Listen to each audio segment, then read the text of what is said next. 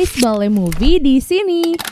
Di video kali ini kita akan membahas film yang berjudul Mob Psycho 100. Film ini dirilis di Jepang pada tahun 2018 dan menceritakan tentang kehidupan seorang siswa SMP yang memiliki sebuah kekuatan supranatural. Pada awal cerita, kita sudah diperlihatkan tentang permasalahan di film ini, di mana di dunia ini terdapat dua makhluk yang hidup secara berdampingan. Terdapat manusia normal dan manusia yang diberi kekuatan khusus atau kekuatan supranatural yang dikenal dengan nama psikis. Beberapa orang yang memiliki kekuatan memanfaatkan kekuatannya untuk melakukan kebaikan dan juga melakukan kejahatan. Di samping itu, ada juga sebuah organisasi peneliti yang meneliti mengenai orang-orang yang memiliki kekuatan psikis. Jika orang-orang lain yang memiliki kekuatan psikis akan dengan bebas menggunakan kekuatannya itu, Shigeo justru memilih untuk menutupi identitasnya tersebut, bukan tanpa alasan dia melakukan hal itu karena ia belum bisa mengontrol kekuatannya tersebut dan takut jika kekuatannya itu bisa saja menyakiti orang-orang di sekitarnya. Film diawali dengan diperlihatkan sebuah keluarga yang sedang makan malam. Di dalam keluarga tersebut terdapat dua anak laki-laki yang memiliki kepribadian yang sangat berbeda, di mana salah satu dari anak tersebut memiliki kekuatan psikis yaitu Shigeo. Shigeo memiliki seorang adik bernama Ritsu. Meskipun tidak memiliki kekuatan psikis, namun Ritsu sangat baik dalam bidang akademik maupun olahraga. Itulah mengapa Ritsu menjadi anak kebanggaan dari kedua orang tuanya. Sedangkan Shigeo, meskipun memiliki kekuatan psikis, namun fisiknya dan kemampuan berpikirnya jauh lebih lemah dibandingkan dengan adiknya. Tokoh utama dari film ini adalah Shigeo. Ia digambarkan sebagai anak SMP yang cupu dan tidak memiliki kekuatan. Ia hampir tidak memiliki teman karena dianggap sebagai seseorang yang lemah. Seperti remaja pada umumnya, Shigeo menyukai teman sekelasnya yang bernama Subomi. Selama berada di sekolah, yang ia lakukan hanyalah memperhatikan setiap pergerakan dari Subomi. Ia memang diam-diam menyukai Subomi sejak lama. Pada kenyataannya, Subomi ternyata terlihat lebih tertarik kepada Ritsu. Setiap sore hari, Shigeo bekerja di suatu tempat. Pekerjaannya itu adalah mensucikan roh atau membasmi para roh yang berkeliaran di bumi. Ia sudah datang ke tempat itu sejak kecil. Hal itu ia lakukan agar ia bisa belajar bagaimana cara menggunakan kekuatannya itu pada saat yang tepat. Pemilik dari tempat ia bekerja merupakan guru bagi Shigeo yang selalu mengajarinya bagaimana cara mengontrol kekuatannya tersebut. Gurunya tersebut bernama Arakata Regen. Suatu hari, si Jeo bertemu dengan seorang gadis yang terlihat aneh bernama Tomechan. Ia merupakan ketua ekskul bernama Penelitian Hal Gaib, di mana ekskul tersebut akan segera dibubarkan oleh ketua OSIS karena tidak memiliki anggota satupun. Ia pun menawarkan kepada Shigeo untuk bergabung di dalam ekskulnya. Pada awalnya, Shigeo menolak hal tersebut karena ia sama sekali tidak tertarik untuk mengikuti kegiatan apa pun. Namun karena merasa kasihan kepada Tome, ia pun akhirnya menyetujui tawaran tersebut karena kebetulan ekskul penelitian itu akan digabungkan dengan ekskul olahraga. Sebenarnya, Shigeo lebih tertarik untuk masuk ke dalam ekskul olahraga agar ia bisa mendapatkan fisik yang lebih kuat dan menarik perhatian Subomi. Sejak hari itu, setiap harinya Shigeo berlatih melakukan banyak kegiatan olahraga seperti berlari, push up, dan lain sebagainya. Karena merasa tidak kuat, Shigeo pun sering pingsan akibat latihan keras yang ia lakukan. Namun ia tak pernah menyerah demi bisa mendapatkan perhatian Subomi sekaligus belajar bagaimana cara mengontrol kekuatannya. Di sini Tome akhirnya mengetahui kenyataan bahwa Shigeo memiliki kekuatan psikis. Itulah yang membuat Tome lebih tertarik kepada Shigeo. Di tempat lainnya, terlihat sebuah laboratorium yang digunakan untuk meneliti mengenai kekuatan psikis dari seseorang. Mereka menggunakan beberapa manusia untuk dijadikan sebagai alat penelitian mereka. Pada suatu hari, Shigeo berjalan pulang ke arah rumahnya dalam keadaan murung. Ia pun lantas diberhentikan oleh seseorang yang menggunakan topeng. Orang bertopeng tersebut menjanjikan kebahagiaan kepada siapa pun yang mengikuti dirinya nanti. Ritsu yang melihat hal tersebut mencoba untuk menghentikan kakaknya. Namun Shigeo tetap bersikeras dan memilih untuk mengikuti orang bertopeng tersebut. Mereka berdua pun akhirnya dibawa menuju ke suatu tempat. Di dalam tempat tersebut terdapat banyak orang yang sudah menggunakan topeng yang sama dengan orang yang tadi. Di sana juga terlihat Tome yang sepertinya juga tertarik dengan komunitas tersebut. Pemimpinnya juga menggunakan topeng yang sama dengan anggotanya. Topeng yang mereka gunakan memperlihatkan ekspresi tersenyum, dan benar saja, baik pemimpin maupun seluruh anggota dari komunitas tersebut selalu tertawa meskipun tidak ada yang lucu. Pemimpin itu menjanjikan kebahagiaan kepada siapa pun yang bergabung ke dalam komunitasnya. Shigeo, Ritsu, dan Tome pun dipaksa untuk ikut ke dalam komunitas tersebut. Dimulai dari Tome, pemimpin tersebut mulai memasakkan topeng kepada Tome. Dan benar saja, setelah menggunakan topeng tersebut, Tome tiba-tiba tidak bisa berhenti tertawa. Target selanjutnya yaitu Ritsu. Sama seperti Tome, Ritsu juga berubah menjadi seseorang yang tidak bisa berhenti tertawa.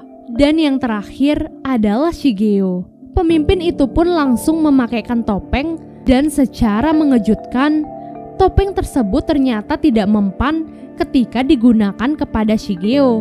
Akhirnya diketahui bahwa pemimpin dari kelompok tersebut bukanlah seorang manusia, melainkan roh jahat yang ingin memiliki banyak pengikut. Ia pun mulai mengancam Shigeo dengan menggunakan Ritsu. Hal itu ternyata membuat Shigeo teringat akan masa lalunya yang sangat kelam, di mana saat itu ia pernah hampir membunuh Ritsu dengan kekuatannya sendiri. Itulah alasan sebenarnya mengapa Shigeo menjadi sangat ketakutan ketika menggunakan kekuatan psikisnya. Karena hal itu, Shigeo pun akhirnya tak bisa mengontrol kekuatannya dan mulai menggunakan kekuatannya itu untuk menyelamatkan Ritsu. Di sinilah kita diperlihatkan sisi berbeda dari Shigeo. Karena hal itu, roh jahat itu pun akhirnya memperlihatkan wujud aslinya yang berupa monster bertubuh besar. Pertarungan di antara mereka akhirnya tak bisa terhindarkan. Shigeo pun menunjukkan sedikit kekuatannya kepada roh jahat tersebut. Sehingga pada akhirnya roh jahat tersebut pun mampu dikalahkan oleh Shigeo. Begitupun dengan para pengikut dari roh jahat tersebut yang akhirnya juga ikut tersadarkan. Shigeo pun segera mengajak Ritsu dan Tome untuk pergi dari tempat tersebut sebelum identitasnya diketahui oleh orang lain. Keesokan harinya, Shigeo terbangun dan terkejut melihat roh yang sudah berada di sampingnya. Roh tersebut adalah roh jahat yang kemarin sudah dikalahkan oleh Shigeo. Roh itu pun mengenalkan dirinya dengan nama Ekubo dan berniat menjadi teman untuk Shigeo. Ia sebenarnya berniat untuk menguasai dan menjadi dewa bagi para roh dengan bantuan Shigeo. Namun Shigeo tentu saja menghiraukan hal tersebut. Setelah hal itu, kita diperlihatkan bagaimana kehidupan sehari-hari dari seorang Shigeo seperti biasanya. di mana ia masih mengagumi Subomi dan juga mengikuti klub olahraga. Di tempat lainnya, terlihat seorang siswa dari sekolah lain yang ternyata memiliki kekuatan psikis sama seperti Shigeo. Berbeda dengan Shigeo, siswa tersebut menggunakan kekuatannya untuk mendapatkan kepopuleran dan menghajar murid dari sekolah lain. Keesokan harinya, para siswa yang dihajar habis-habisan oleh siswa garam putih meminta bantuan kepada klub olahraga untuk membantu membalas perlakuan dari siswa garam putih. Namun tentu saja para siswa dari klub olahraga menolak untuk melakukan hal tersebut karena mereka ingin fokus berolahraga dan bukannya berkelahi dengan siswa dari sekolah lain para berandalan ini tidak kehabisan cara. Mereka pun melakukan tipu daya untuk mengumpulkan para siswa dari kedua sekolah tersebut. Rencana para berandalan ini akhirnya berhasil di mana mereka memancing Shigeo untuk datang ke suatu tempat bertemu dengan para siswa dari Garam Putih.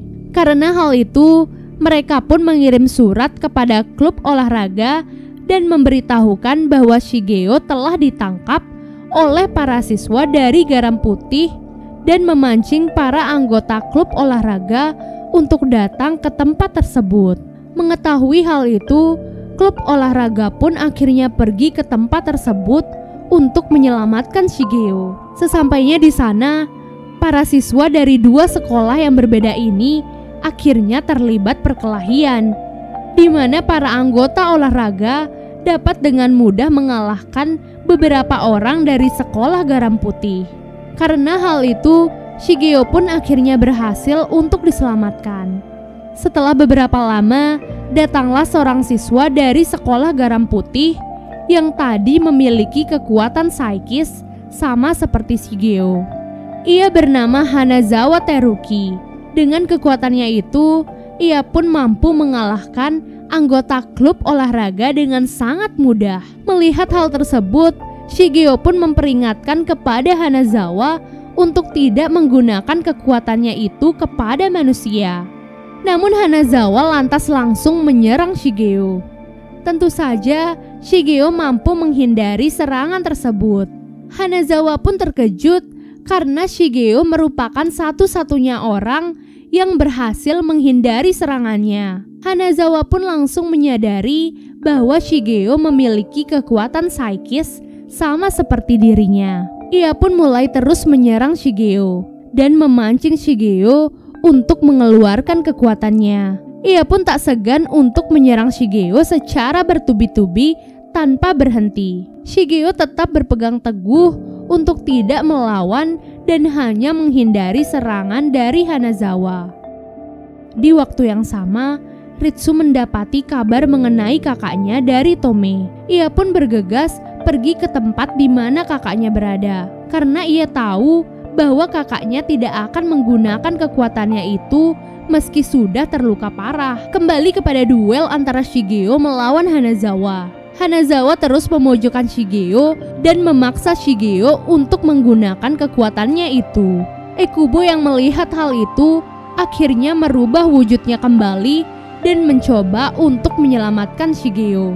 Meski pada akhirnya ia pun dikalahkan oleh Hanazawa dan mati begitu saja. Shigeo pun tampak sedih karena kehilangan Ekubo. Namun ia tetap bersikeras untuk tidak menggunakan kekuatannya tersebut. Sampai suatu ketika, Hanazawa yang marah lantas menyerang Shigeo dengan beberapa pecahan kaca dan dengan tidak sengaja Shigeo pun membalikan serangan tersebut dan membuat Hanazawa menjadi botak. Hal itu lantas membuat Hanazawa sangat marah kepada Shigeo. Hanazawa pun mencekik Shigeo hingga Shigeo pun pingsan. Karena hal itu, hal yang tidak diduga-duga akhirnya terjadi. Shigeo terbangun dengan keadaan berubah 180 derajat. Kekuatan psikis dari Shigeo tak mampu dikendalikan dan menyebabkan timbulnya angin puting beliung yang sangat besar.